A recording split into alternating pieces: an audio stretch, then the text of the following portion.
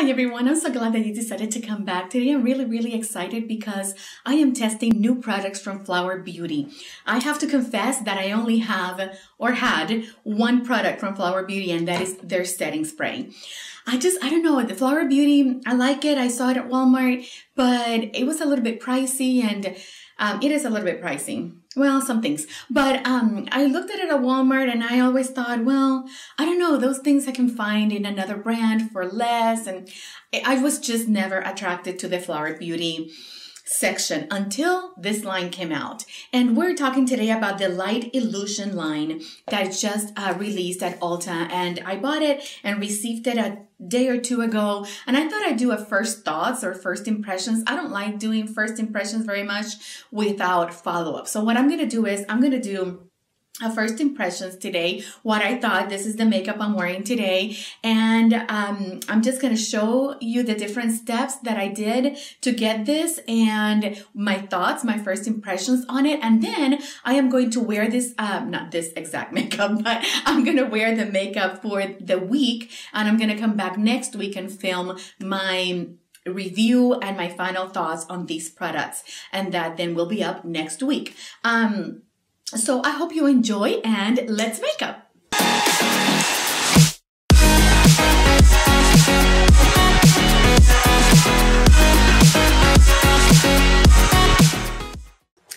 Okay, so like I said, I have this new line from Flower Beauty. It's called Light Illusion. I got the foundation, the concealer, the primer, um, the setting powder.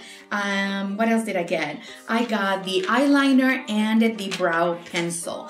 Um, Flower Beauty is um, owned by Drew Barrymore and it is sold at Walmart and it is on the little bit higher end of the drugstore pricing. I tried one BB cream from Flower Beauty that I really did not like. I will link a video up here in which I I'm talking about this BB cream. It was too light for me. I didn't like the applicator anyway. You can go watch that video. So let's start from the beginning and let's start with primer. I got the primer. It is called uh, Flower in Your Prime Hydrating Primer. I gotta give it to packaging. The, oh, this is backwards. Let me do it the right way. Oh my gosh. There it is. Okay, um, I gotta give it to packaging, guys. The packaging is totally beautiful. I love this um, kind of gold plate that says Flower Beauty, or not Flower Beauty, says Flower. And I, it's a squeezy tube and I like it. You get here um, the standard one fluid ounce and it says to smooth and blur, to smooth and blur, uh, longer lasting makeup uh, wear and lightweight. I do have to agree with that claim. It is lightweight. It feels a little bit um, lotiony and so, oh sorry, my my phone went off. It feels a little bit lotiony, but it disappears real quick. And the first three ingredients in this um, in this primer are water and then something that I don't know how to pronounce so I will put it on the on the screen and then the methicone and so that second ingredient that I have no idea how to um, you know, pronounce because it's a long scientifically name. It is a, a hair conditioning agent, it is a skin conditioning agent, it is emollient, and it is used for skin conditioning. The first ingredient, of course, is water and then the dimethicone, and those are all very hydrating ingredients. I did feel that it is hydrating. It is not super tacky and it did blur uh, some of my pores that I have here.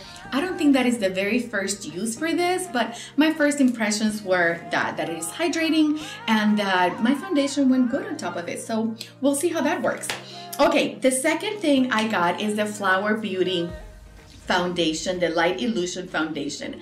Again, I have got to give it to packaging. It is super, super pretty. However, my, my letters are already fading. I don't know what that.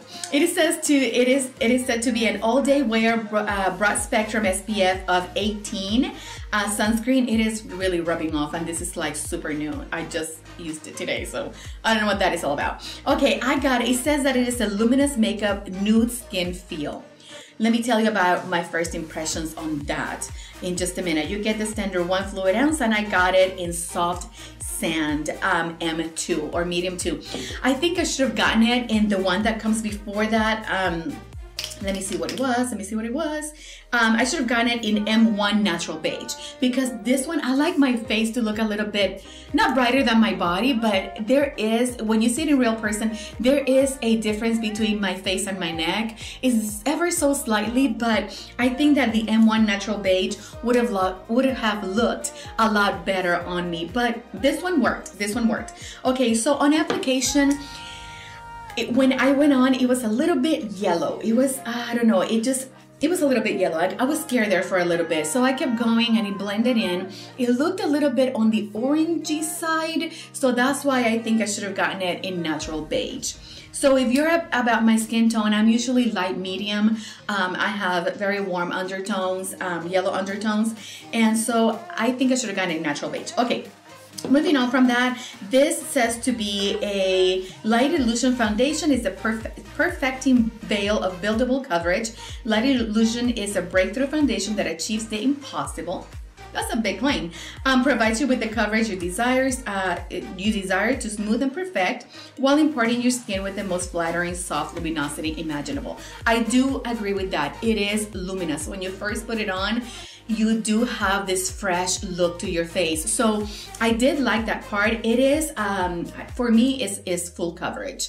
Um, I don't know if you have a lot of um, blemishes too, or acne or scarring or things like that to cover. I think you can build it up to a to a full coverage, but it is pretty full coverage. For me, it covered everything. um, and then it says that it is a weightless nude skin feel and imperfections and imperfections and uneven skin tone are diminished, which I agree with that on my first impression. Only a flawless, smooth, and incredibly natural complexion is revealed.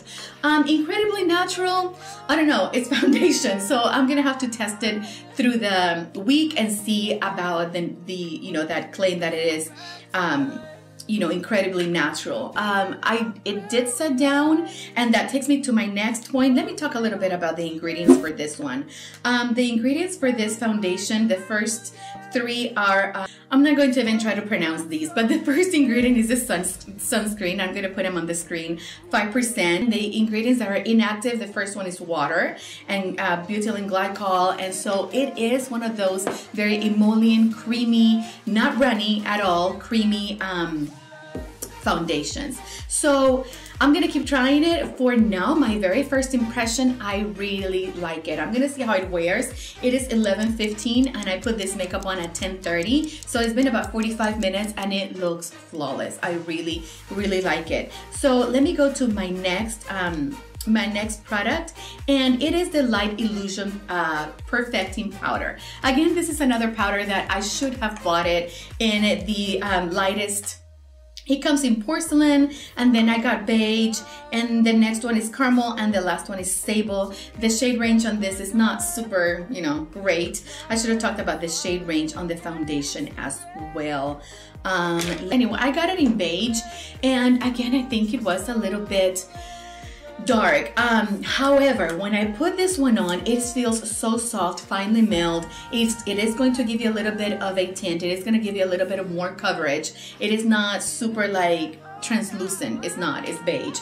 Um, if I had gotten this in porcelain, then I would have been okay with this foundation in soft beige because I would have been able to lighten it. However, because I got these in darker than me shades, um, it turned out to be just on the verge of being too dark, just on the verge. However, I do my first impressions on this powder, I like it. When I dusted it on with my, of course, powder brush, um, it did not take the luminosity out of the foundation. So if you can see on my forehead, it is still luminous.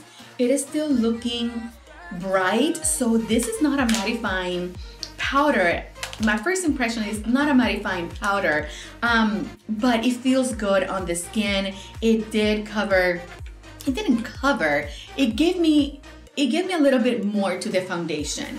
Um, it says that it is um, an innovative uh, pressed powder And it, sorry, let me go back. It brings Flower Beauty's soft focus innovation to a pressed powder form.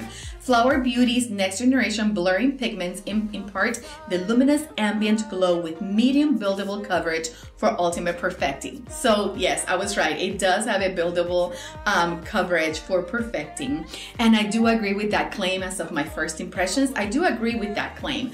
Um, it has blurring pigments. You know what? I hadn't read this before I put it on, but I have to agree with that. It does have blurring um, capability. So my first impression of this powder is good. Okay, um, concealer. Oh, I should have done the concealer after the foundation, shouldn't I? Crazy, craziness. Okay, the concealer. Again, packaging super adorable. It reminds me of the NARS Radiant, um, what's it called? Creamy Radiant. I'll put it on the screen. Uh, the Radiant concealer from NARS. It reminds me of that packaging. it, it is the, um, you know, the doe foot applicator. Um, it is a little bit slanted, so I like that because you can get right in there. Again, I don't know what I was thinking with this color. Well, anyway, um, I don't know what I was thinking, but I did get it. Where's my packaging? I just opened it and I lost it. Anyways, I got this in um, medium honey. Really Maging, hello. I got this in medium honey and um, it is just right for my under eye. However, I do like a brighter under eye. So I had to go ahead and I used my, my Essence Brighten Up powder to brighten that a little bit. However, this application went so, so pretty. When I blended it in with my sponge, I always use a sponge to blend in the concealer. It looked so, so good. It still looks so, so, so good. My first impressions of this is yes, is yes. I'm, I'm going to keep using it during the week, like I said, and I'll come back with my final thoughts, especially because I've only worn this makeup for like 50 minutes, so I can't give you a really, I love this, you know, but uh, this is $9.99 and I should have given you the prices but I'll put them on the screen. Um, this this is $9.99 and I think I should have bought it in light medium again because I like a brighter under eye but so far so good. Um, this this concealer I am really liking. It says that it is a soft focus blurring concealer with a high performance coverage, which I have to agree. My dark circles are real and this covered covered it. They it, it did. This weightless concealer, um, weightless, yeah, I, I, can agree with that. Um, provides dark circle diffusing illumination with Flower Beauty's exclusive blurring pigments. I have to agree with that. However, because I tried uh, setting it with this and it didn't work because it is dark. Not because it not because it crinkled it or looked wrinkly or anything like that. It didn't dry it out. I have really really dry under eyes and the powder under my eyes did not dry my they didn't dry it did I can't talk. Didn't dry them out more. Um, it doesn't look horrible under my eyes at all. If I had had it in a lighter color uh, like porcelain I would have set my under eye with this um, but I had to go in with my Brighten Up powder from Essence. So I have I put more powder than I usually do. I don't bake or anything like that because of my dry under eye. So yes, I have to agree with the claim that it is lightweight. I just had to put a lot of powder because I was trying things out. Um, the formula does double duty to calm and reduce puffiness. I'm gonna try to test that over the week because I don't have a lot of puffiness, but um, I want to see that calm effect. Um, hmm, I'm gonna have to see and get and get back with you on that. With an infusion aloe and chamomile extract. I really like that, especially because under the eye is so important that we take care of that area. Um, and aloe is known for calming and soothing. Okay, an added boost of caffeine, which is good for firming, it says, firms up and give targeted areas a boost of antioxidants. So I am really liking this concealer. I think it's one of the things, if not the thing that I've liked the most. Okay. I have two more products to. I just lost my product. I'll be right back. And I'm back with my product. okay, um, I bought the, um, what is this? This is the eyebrow pencil and I bought it in brunette, EP2. They give it like these weird denominations, but it is an EP2 uh, brunette, and I thought it's going to be a little bit light for my eyebrows, but it actually worked really, really well.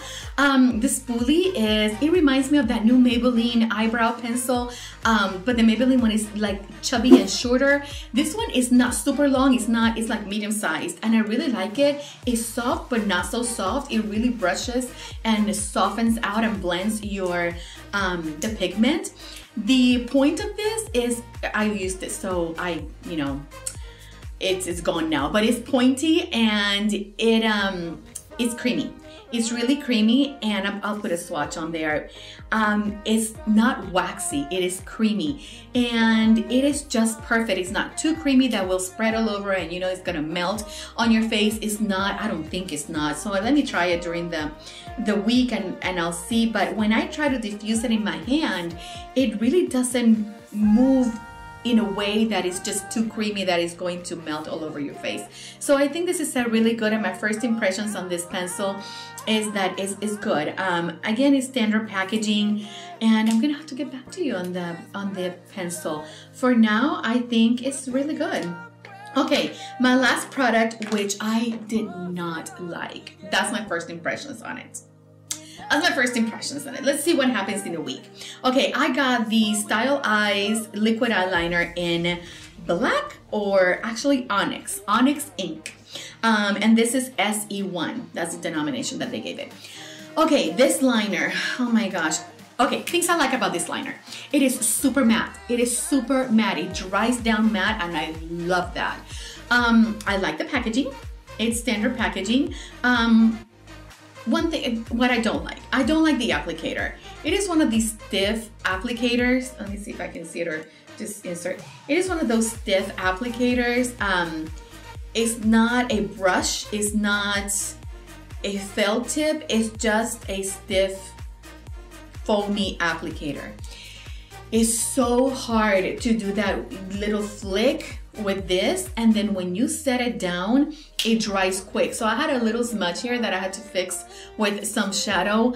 Um, it did the job but it has a learning curve. So I'm gonna keep using it this week and I'm gonna see how it works. But for now it's one of the what I don't like about it is the applicator. It's, it has a learning curve. So we'll see how it works this week. Guys thank you so much for watching. Thank you so much for being here. I will come back in a week to tell you all about my last impressions and my review on these new products. I hope you enjoyed and remember to stay joyfully beautiful. Bye bye. I feel again, we're bringing this.